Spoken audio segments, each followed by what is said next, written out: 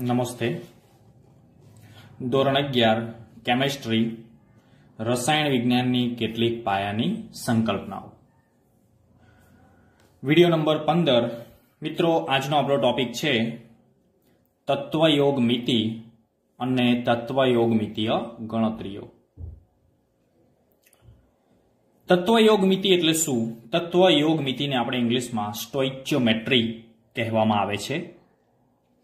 સ્ટોઇચ્યોમેટ્રી એટલે કે સ્ટોઇચ્યોન અને મેટ્રોન એમ બે શબ્દોમાંથી તત્વયોગ મિતિ એટલે કે સ્ટોઇચ્યોમેટ્રી શબ્દ પડેલ છે. સ્ટોઇચ્યોન એટલે મિત્રો તત્વ અને મેટ્રોન એટલે માપન.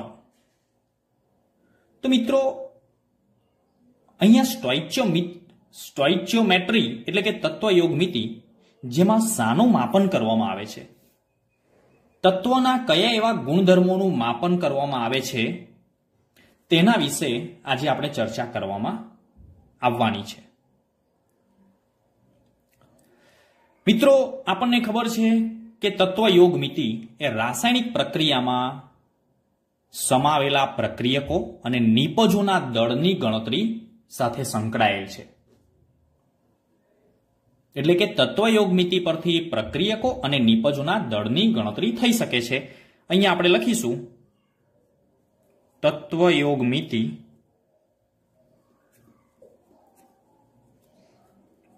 તો સાની સાથે તે સંકળાયેલ છે. તો પ્રક્રિયકો અને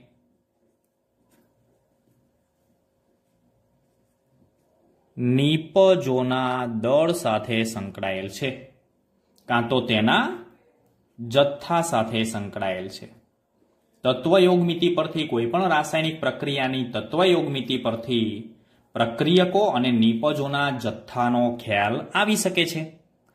પણ મિત્રો, આ જે પ્રક્રિયકો અને નિપજોના દળ કે જથ્થાની ગણતરી આપણે કરીએ, એના પહેલા કોઈ પણ રાસાયણિક પ્રક્રિયા છે, તેને કેવી રીતે સમતોલિત કરી શકાય તે સમજવું જરૂરી છે.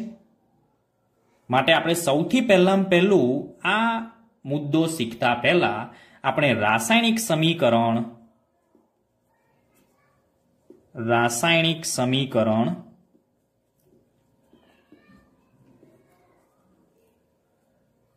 સમતુલિત કરતા શીખવું પડે. અને એ રાસાયણિક સમીકરણ સમતુલિત કર્યા પછી આપણે તેના પરથી સમતુલિત રાસાયણિક સમીકરણ પરથી કઈ કઈ માહિતી મેળવીએ છીએ તેની આજે આપણે ચર્ચા કરીશું. તો ચલો, સૌથી પહેલા આપણે એક દહન પ્રક્રિયા, જેમાં એક ઉદાહરણ આપણે લીધેલું છે. મિથેનની દહન પ્રક્રિયા. તો મિથેનની દહન પ્રક્રિયાનું આપણે અહીંયા સમીકરણ લખીશું. તો એ સમીકરણ આ મુજબ છે. સીએચ ફોર એટલે કે આપણે તેને મિથેન કહીએ છીએ, જે ગેસિયસ અવસ્થામાં છે. દહન પ્રક્રિયા છે, એટલે ઓક્સિજનની હાજરીમાં દહન થાય છે. ગીવ્સ સીઓ ટુ એ પણ વાયુમય અવસ્થામાં છે અને ટુ એચ ટુ ઓ તો એ પણ વાયુમય અવસ્થામાં છે. મિત્રો, પહેલા આપણે સમજી લઈએ અહીંયા. તો અહીંયા જે સીએચ ફોર છે તે મિથેન છે. મિથેનનું દહન થાય છે. એટલે અહીંયા આપણે લખીશું દહન. હવે મિથેનના દહન દ્વારા આપણને કાર્બન ડાયોક્સાઇડ કાર્બન ડાયોક્સાઇડ અને પાણી મળે છે.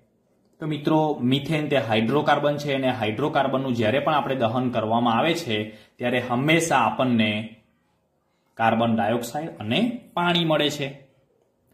બીજી એક વાત કરીએ, તો તમે પ્રક્રિયામાં અહીંયા જુઓ છો કે તમામ પ્રક્રિયકો અને તમામ નિપજો બધા જ વાયુમય અવસ્થામાં છે. જો વાયુમય અવસ્થામાં હોય તો આપણે જી લખીએ છીએ ગેસ. જો ઘન અવસ્થામાં હોય તો એના માટે આપણે લખીએ છીએ એસ. સ્મોલ એસ અને જો પ્રવાહી અવસ્થામાં હોય, તો આપણે એલ કહીએ છીએ લિક્વિડ. અને જો જલીય દ્રાવણમાં હોય, તો તેને આપણે એક્યુ એક્વાયસ કહીશું આપણે. તો મિત્રો, અહીંયા જે મેં પ્રક્રિયા લખેલી છે, અહીંયા મેં જે સમીકરણ લખેલું છે, આ સમીકરણ આપણે ધ્યાનથી જોઈશું. તો એમાં મિથેન અને ઓક્સિજન બંને છે પ્રક્રિયકો, કાર્બન ડાયોક્સાઇડ અને પાણી છે. નીપજ. તો પ્રક્રિયક અને નીપજ એ બંને બાજુ તમે જુઓ, તો પ્રક્રિયક તરફ કાર્બનના કેટલા પરમાણુઓ છે? એક. તો નીપજ તરફ કાર્બનનો એક પરમાણુ છે. હાઇડ્રોજનના પ્રક્રિયક તરફ કેટલા પરમાણુ છે? ચાર. તો હાઇડ્રોજનના બે દુ ચાર. ઓક્સિજનના ચાર, તો અહીંયા ઓક્સિજનના બે અને બે ચાર. તો મિત્રો, મેં પહેલેથી જ આ સમીકરણ સંતુલિત જ લખેલું છે. કહેવાનો મતલબ કે કોઈ પણ પ્રક્રિયામાં દ્રવ્ય સંચયનો નિયમ લાગુ પડે પડે ને પડે જ. તેમાં એક પણ તત્વોની સંખ્યા ઓછી પણ થતી નથી અને વધુ પણ આવતી નથી. એટલે બંને બાજુ પરમાણુઓની સંખ્યા સમાન હોવી જરૂરી છે. તો જ રાસાયણિક સમીકરણ સંતુલિત છે તેવું કહી શકાય. બીજું એક મિત્રો આપણે ઉદાહરણ લખીશું. હવે બીજું એક ઉદાહરણ છે મેગ્નેશિયમ પ્લસ ડાયઓક્સિજન, ધાતુની પ્રક્રિયા ઓક્સિજન સાથે કરવામાં આવે છે. ઓક્સિજન, ગેસિયસ અને મેગ્નેશિયમ છે તે ઘન અવસ્થામાં છે. અને આપણને અહીંયા મળે છે તે મેગ્નેશિયમ ઓક્સાઇડ મળે છે. Magnesium oxide. મિત્રો, એ પણ હું તમને કહી દઉં કે જ્યારે પણ આપણે પ્રક્રિયા સંતુલિત કરીએ છીએ ત્યારે કાં તો કોઈ પણ પ્રક્રિયા આપણે લખતા હોઈએ છીએ ત્યારે કોઈ બે પ્રક્રિયકોના સંયોજાવાથી શું બને છે તે આપણને ખ્યાલ હોવો જોઈએ. તો જ આપણે રાસાયણિક પ્રક્રિયા સારી રીતે સંતુલિત કરી શકીએ. ત્યાર પછી આપણે કોઈ પણ રાસાયણિક પ્રક્રિયા લખીએ ત્યારે તેમાં રહેલું જે અણુસૂત્ર છે એ અણુસૂત્ર સાચું હોવું જરૂરી છે મિત્રો. અહીંયા સીએચ ફોરની જગ્યાએ હું સીએચ ટુ લખું તો ચાલે નહીં. કારણ કે મિથેનનું જે અણુસૂત્ર છે, એ અણુસૂત્ર સીએચ ફોર જ થાય. અને અણુસૂત્ર સાચું લખ્યા પછી જ રાસાયણિક પ્રક્રિયા સંતુલિત કરી શકાય. બાકી અણુસૂત્ર ખોટું હોય તો ચાલે નહીં. બીજી એક બાબત મિત્રો આપણે ખાસ ધ્યાનમાં રાખીશું કે જ્યારે પણ આપણે પ્રક્રિયા સંતુલિત કરીએ, ત્યારે અહીંયા જે નીચે આપણે જે એક, બે, ત્રણ એવું જે લખીએ છીએ તે નીચેની તરફ આપણે કોઈ સંખ્યા બદલાતી નથી. ઓ ટુ તો ઓ ટુ સ્વરૂપે જ હોય. એટલે કે દ્વિપરમાણવીય સ્વરૂપે જ હોય. તે ત્રિપરમાણવીય કે ચાર પરમાણવીય આપણે લખી શકાય નહીં. એટલે અહીંયા આપણે બદલવાની જરૂર નથી. આપણને એમ થાય કે મારે અહીંયા, ધારો કે અહીંયા ડાય ઓક્સિજન છે, તો અહીંયા ઓ ટુ કરી દઉં, તો અહીંયા બંને બાજુ પ્રક્રિયક અને નિપજ બંને તરફ ઓક્સિજનની સંખ્યા સરખી. તો એ ખોટું છે. માટે આપણે જો સમીકરણને સંતુલિત કરવું હોય, તો આપણે જે તે સંયોજનની આગળ આપણે અંક મૂકવો પડશે. ગુણક સંખ્યા મૂકવી પડશે. તો એ કઈ રીતે મૂકી શકાય? તો એના માટે મિત્રો એક જ પદ્ધતિ છે પ્રયત્ન અને ભૂલ પદ્ધતિ. એટલે એમાં પ્રયત્ન અને ભૂલ, એટલે ભૂલ પણ પડવાની શક્યતા છે, તો બીજી વખત પ્રયત્ન કરવો પડે.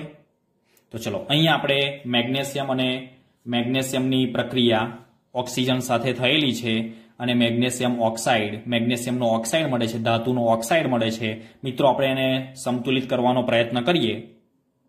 તો અહીંયા ઓક્સિજન બે છે, તો અહીંયા આપણે બે આગળ મૂકીશું. અહીંયા બે આગળ આપણે મૂકીશું, તો મેગ્નેશિયમની સંખ્યા થશે બે, તો અહીંયા પણ આપણે બે મૂકીશું. તો આ રીતે આપણે કોઈ પણ રાસાયણિક સમીકરણ હોય તે સમીકરણ આપણે સંતુલિત કરી શકાય. ચલો, એ જ રીતે બીજું એક સમીકરણ આપણે સંતુલિત કરીએ. ફોસ્ફરસ અધાતુ છે. સોલિડ અવસ્થામાં ઓ ટુ ગેસિયસ અવસ્થામાં છે.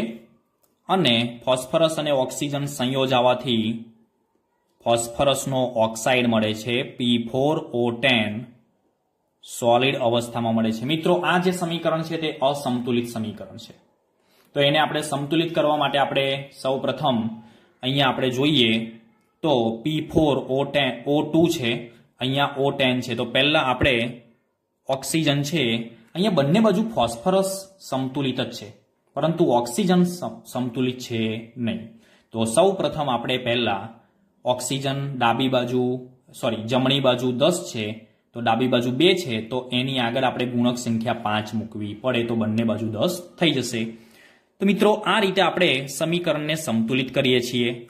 ચલો, બીજું એક સમીકરણ, એક બીજું એક્ઝામ્પલ આપણે લઈએ, જેમાં પ્રોપેન લઈએ સી થ્રી એચ એટ એનું આપણે દહન કરીશું, ગેસિયસ અવસ્થામાં છે. એનું આપણે દહન કરીશું. દહન કરીએ એટલે મિત્રો, ઓક્સિજનની હાજરી જરૂર છે.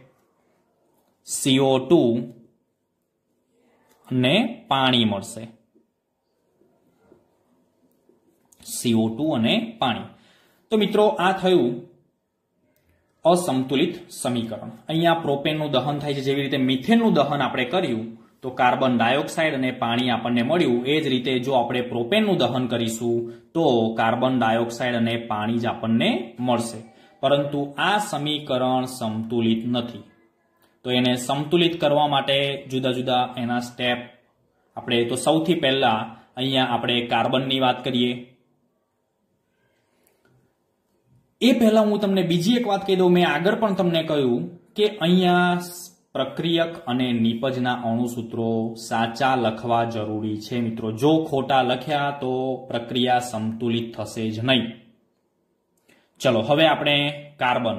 તો સૌથી પહેલા આપણે કાર્બનને સંતુલિત કરીએ. તો અહીંયા હું કાર્બન ડાબી બાજુ ત્રણ છે. તો જમણી બાજુ મારે ત્રણ લાવવા માટે કાર્બન ડાયોક્સાઇડની આગળ મારે ત્રણ મૂકવા પડશે. ચલો, હવે કાર્બનની સંખ્યા સંતુલિત થઈ ગઈ છે બંને બાજુ. ડાબી બાજુ અને જમણી બાજુ ત્રણ ત્રણ મળી ગયા છે. તો હવે હાઇડ્રોજન પરમાણુની સંખ્યાને આપણે સંતુલિત કરીશું બીજા સ્ટેપમાં. તો અહીંયા હાઇડ્રોજન છે આઠ તો અહીંયા હાઇડ્રોજન બે છે, તો આઠ મેળવવા માટે આપણે એચની આગળ ચાર મૂકવા પડશે. નહીં કે આ બેને છેકીને આપણે ચાર મૂકવાનું નથી. કારણ કે તેનું અણુસૂત્ર બદલાઈ જશે, તો પ્રક્રિયા ખોટી પડશે. એટલે આપણે અહીંયા આગળ જ ચાર મૂકીશું. ચલો, હવે ચાર મૂકી દીધું, તો હાઇડ્રોજન બંને બાજુ સંતુલિત થઈ ગયા. તો હવે આપણે ઓક્સિજન પરમાણુને સંતુલિત કરીશું. બંને બાજુ.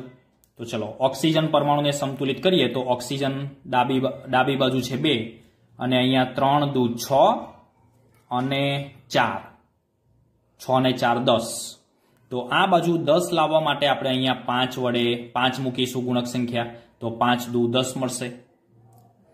તો મિત્રો, આ રીતે આપણું જે આ સમીકરણ મળ્યું, તે સમીકરણ સંતુલિત થઈ ગયેલું છે. ફરી એક વખત આપણે ખાતરી કરી લેવાની છે કે કાર્બનની સંખ્યા ત્રણ ત્રણ કાર્બન. હાઇડ્રોજનની સંખ્યા ચાર દુ આઠ, તો આઠ. ઓક્સિજનની સંખ્યા પાંચ દુ દસ, તો છ અને ચાર દસ. તો મિત્રો, આ રીતે આપણે ખાતરી કરીને જ ફરી આપણે નક્કી કરી શકીએ કે આપણું જે રાસાયણિક સમીકરણ છે, એ સમીકરણ સંતુલિત થઈ ગયેલું છે. ફરી વખત મિત્રો યાદ કરાવી દઉં, ડાબી બાજુ છે તે પ્રક્રિયકો છે અને જમણી બાજુ છે તે નિપજો છે. હવે આ પ્રક્રિયાની અંદર તમે જોઈ શકો છો મિત્રો કે અહીંયા પ્રોપેન, પ્રોપેનની આગળ કશું નથી એટલે મિત્રો એક સમજવાનો છે. તો પ્રોપેનની આગળ અહીંયા એક મૂકેલો છે.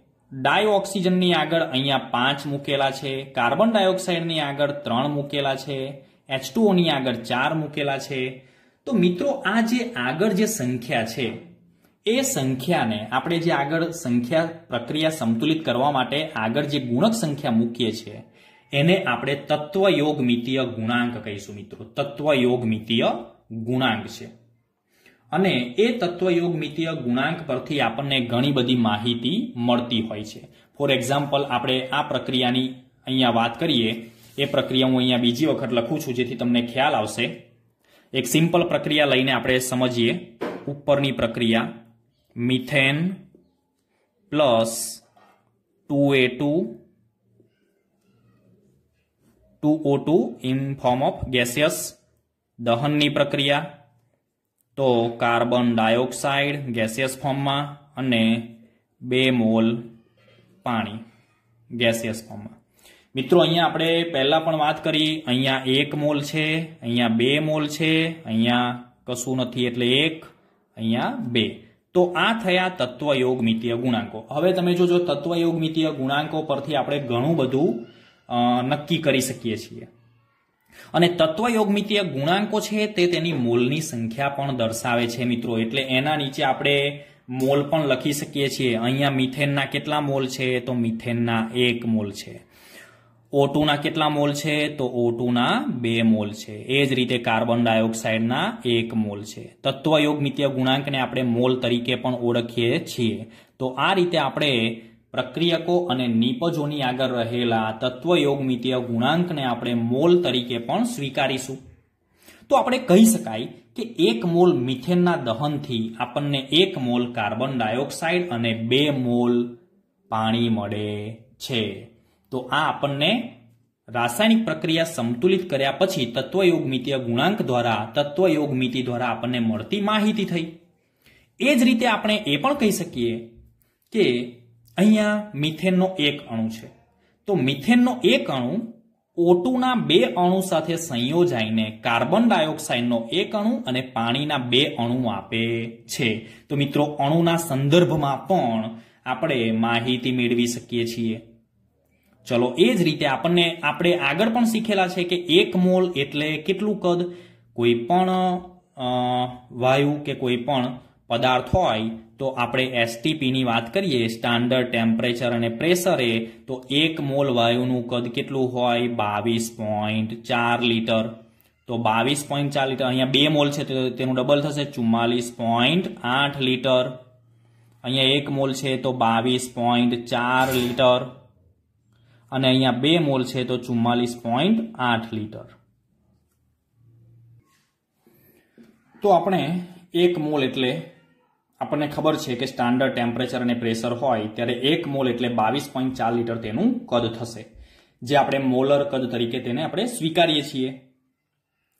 તો મિત્રો, આપણે આના પરથી બીજી પણ માહિતી મેળવી શકીએ કે બાવીસ પોઈન્ટ ચાર લીટર મિથેન ચુમ્માલીસ પોઈન્ટ આઠ લીટર ડાયઓક્સિજન સાથે પ્રક્રિયા કરીને બાવીસ પોઈન્ટ ચાર લીટર કાર્બન ડાયોક્સાઇડ મુક્ત કરે. છે. તો આ રીતે આપણે કદ દ્વારા પણ આપણે મેહી- માહિતી મેળવી શકીએ છીએ. ચલો, એ જ રીતે બીજી આપણે બાબતની અહીંયા આ કદની વાત થઈ, તો આપણે મોલર દળની વાત કરીએ. તો એક મોલ કોઈ પણ સંયોજન હોય, તો તેનું જે દળ છે તેને આપણે મોલર દળ કહીએ છીએ. તો મિથેનનું મોલર દળ છે સોળ.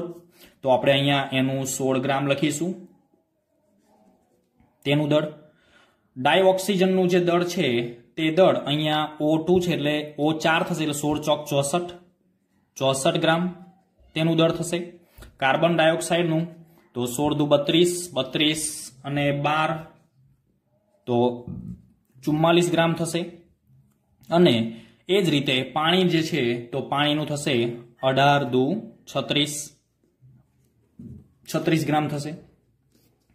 તો મિત્રો, આના પરથી તમે એમ પણ કહી શકો કે સોળ ગ્રામ મિથેનના દહન દ્વારા આપણને ચુમ્માલીસ ગ્રામ કાર્બન ડાયોક્સાઇડ અને છત્રીસ ગ્રામ પાણી મળે છે.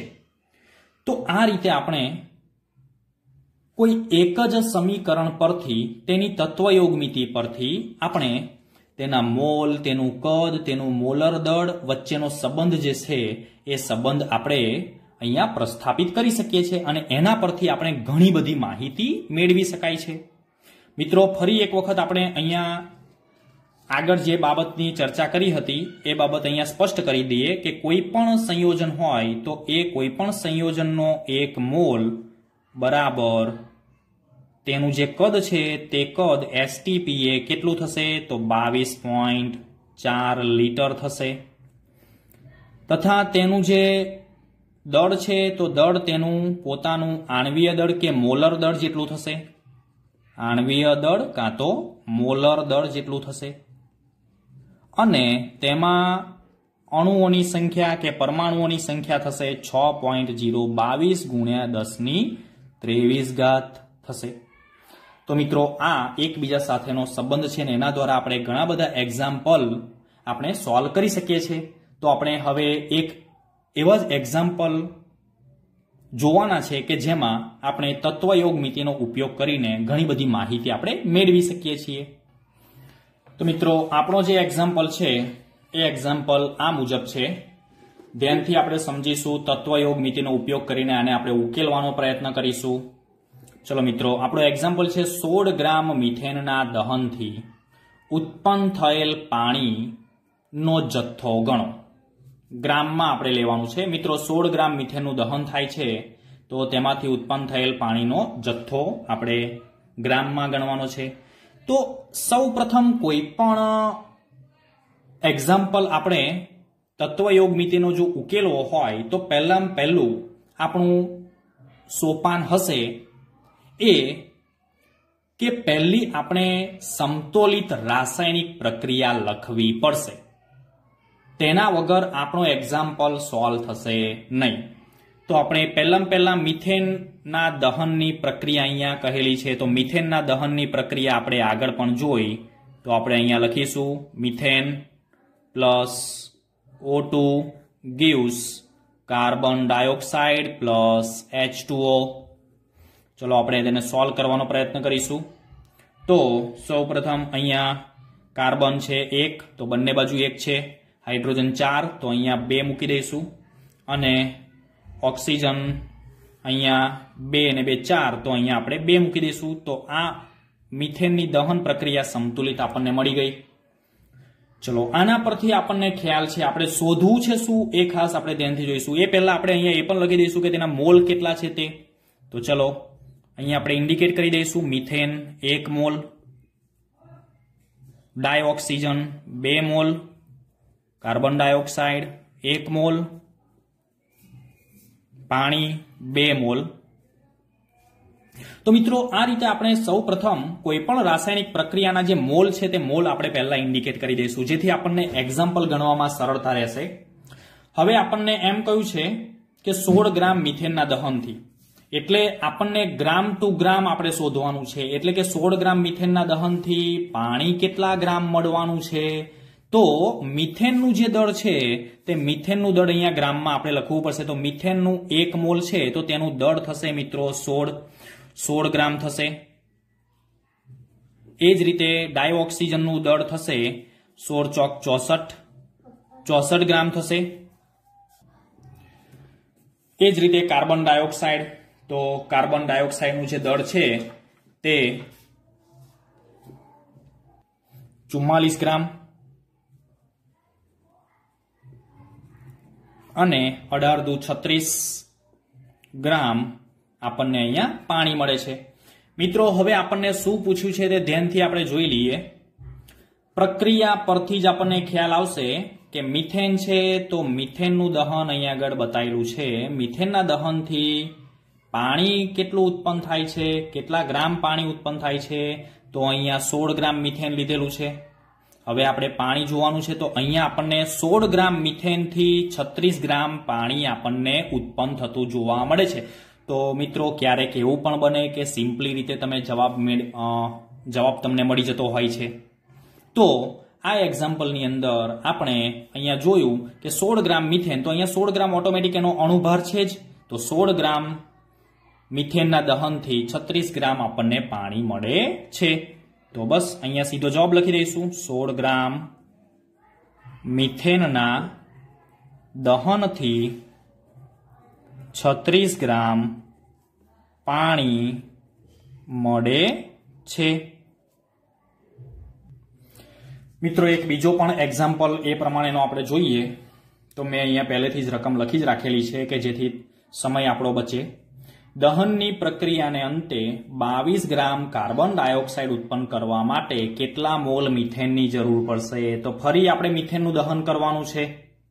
તો મિથેનનું દહનની પ્રક્રિયા મેં ઓલરેડી લખેલી જ છે. તેમાં નીચે બધાની નીચે મોલ મૂકેલા છે. આપણને જે બેની જરૂર હોય એ બેની નીચે જો તમે મોલ મૂકો તો પણ ચાલે. તો ચલો, મિથેનના એક મોલ, કાર્બન ડાયોક્સાઇડનો એક મોલ. તો મિથેનનો એક મોલ છે. તો અહીંયા સોરી મિત્રો, અહીંયા પ્રક્રિયા સંતુલિત કરવા માટે આપણે બે મૂકવા પડશે. તો મિથેનનો એક મોલ એક મોલ કાર્બન ડાયોક્સાઇડ ઉત્પન્ન કરે છે. એટલે કે એક મોલ કાર્બન ડાયોક્સાઇડ જો આપણે મેળવવો હોય તો એક મોલ મિથેન આપણે એનું દહન કરવું પડે. તો મિત્રો, અહીંયા આપણને એમ કહ્યું છે કે બાવીસ ગ્રામ કાર્બન ડાયોક્સાઇડ ઉત્પન્ન કરવા. કેટલા મોલ મિથેનની જરૂર પડે? કેટલા મોલ પૂછેલું છે? તો આપણે પહેલા આપણે શું કરવું પડશે? તો ચુમ્માલીસ ગ્રામ અહીંયા અહીંયા લખીશું આપણે ચુમ્માલીસ ગ્રામ કાર્બન ડાયોક્સાઇડ ઉત્પન્ન થાય છે. તો સોળ ગ્રામ સોળ ગ્રામ મિથેનના દહનથી, સોળ ગ્રામ મિથેનના દહનથી ચુમ્માલીસ ગ્રામ કાર્બન ડાયોક્સાઇડ ઉત્પન્ન થાય છે. તો આ રીતે આપણે મૂકીશું. તો આપણને કેટલા ગ્રામ કયું છે? બાવીસ ગ્રામ કાર્બન ડાયોક્સાઇડ. તો કેટલા ગ્રામ મિથેનની જરૂર પડે? તો આપણે ચોકડી ગુણાકાર કરીએ. તો બાવીસ ગુણ્યા સોળ ભાગ્યા ચુમ્માલીસ. તો જવાબ આવશે આઠ ગ્રામ મિથેનની જરૂર પડશે. તો મિત્રો, આ થયો ગ્રામમાં જવાબ. તો આઠ ગ્રામ મિથેનને આપણે મોલમાં ફેરવવું પડશે. તો મિત્રો, આપણને ખબર છે કે મોલ બરાબર દળ ભાગ્યા પરમાણવીય દળ, એટલે કે વજન ભાગ્યા પરમાણવીય દળ. તો અહીંયા આપણે સીએચ ફોરના મોલ, તો આપણને અહીંયા કેટલું મળે છે? આઠ ગ્રામ. અને તેનું પરમાણવીય દળ છે સોળ. તો આપણને એક ભાગ્યા બે, એટલે કે જીરો પોઈન્ટ પાંચ મોલ મિથેનની જરૂર પડશે. તો કેટલા ગ્રામ? તો બાવીસ ગ્રામ કાર્બન ડાયોક્સાઇડ ઉત્પન્ન કરવા માટે જીરો પોઈન્ટ પાંચ મોલ મિથેનની જરૂર પડશે. હવે આપણે એક બીજા ટોપિક વિશે સમજ મેળવીએ. તો એ ટોપિકનું નામ છે સીમિત પ્રક્રિયક. મિત્રો, સીમિત પ્રક્રિયક કોને કહીશું? આપણે ધ્યાનથી પહેલા સાંભળી લઈએ. તો પ્રક્રિયામાં પ્રક્રિયામાં જે પ્રક્રિયક પ્રક્રિયામાં જે પ્રક્રિયક વપરાય ગયેલ છે વપરાઈ ગયેલ છે તે બનતી નીપજને બનતી નીપજને કે તેના ઉત્પાદનને.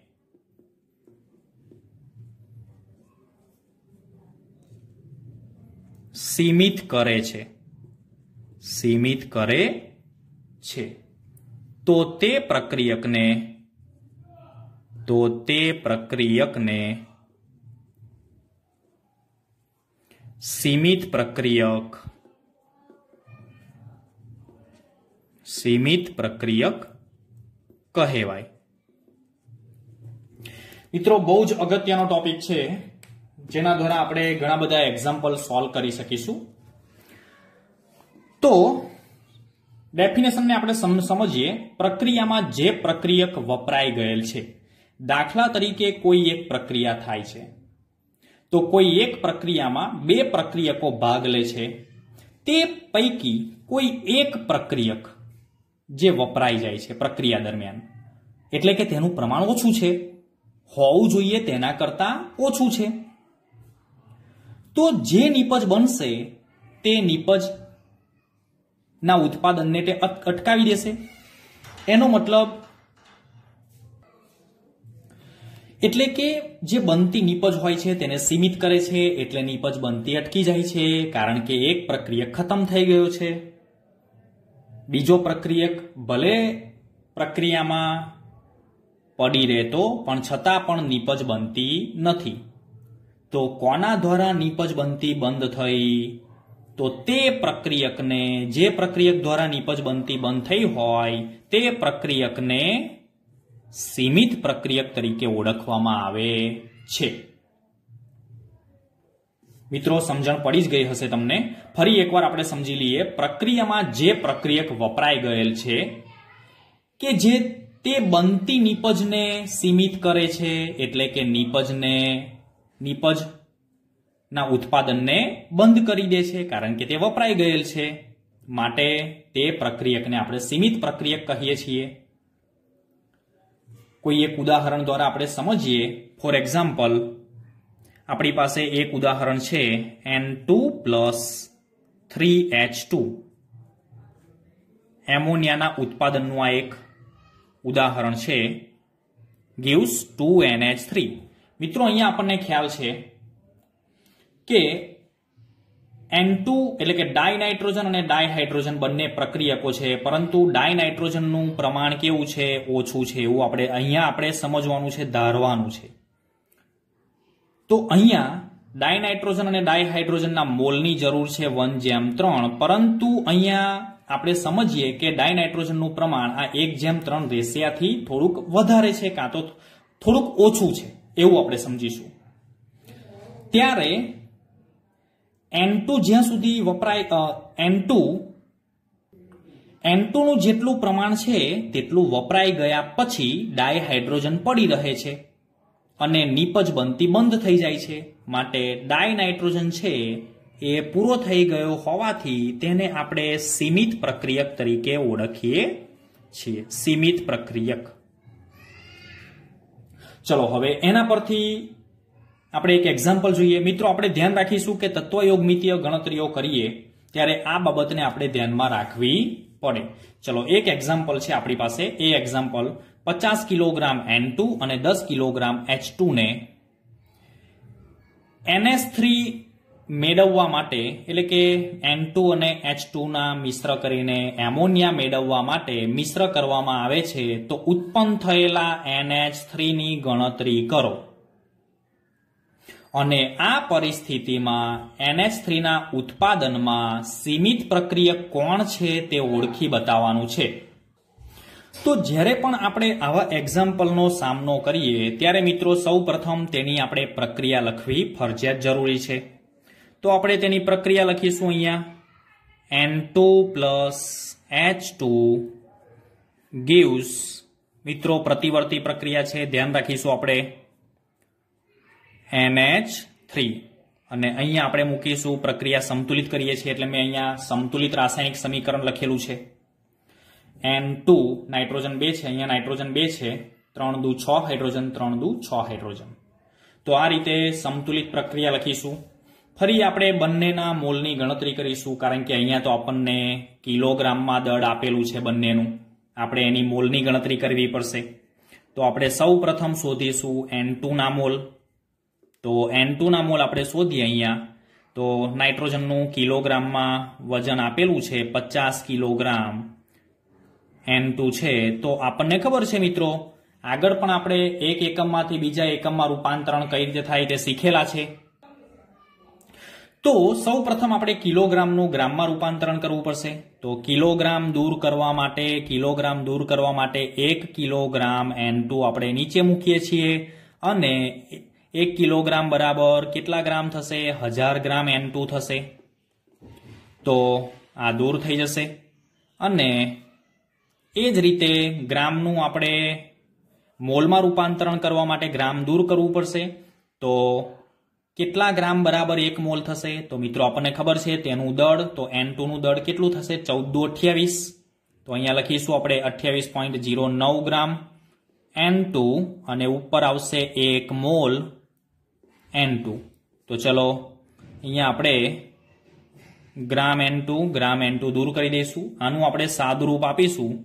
તો મિત્રો, આપણને સત્તર પોઈન્ટ છ્યાસી ઇન્ટુ દસની બે ઘાત મોલ આપણને જવાબ મળશે. તો આ થયા એન ટુના મોલ. ચલો, એ જ રીતે આપણે એચ ટુના મોલ શોધીશું. એચ ટુના મોલ.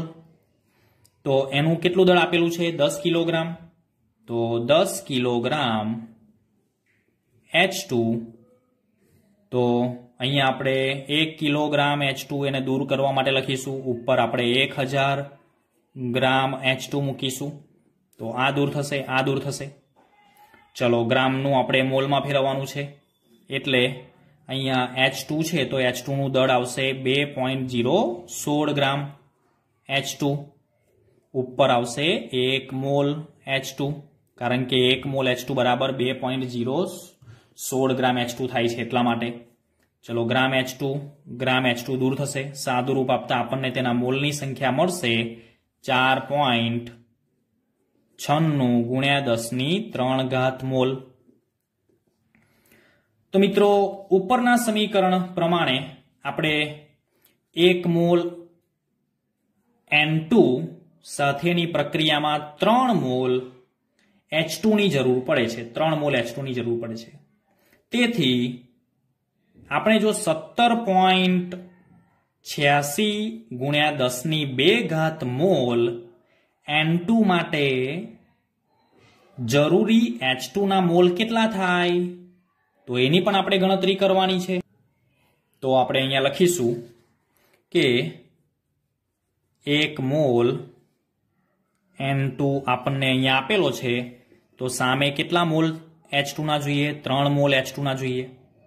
તો આપણી પાસે અત્યારે એન ટુના કેટલા મોલ છે? સત્તર પોઈન્ટ છ્યાસી મોલ.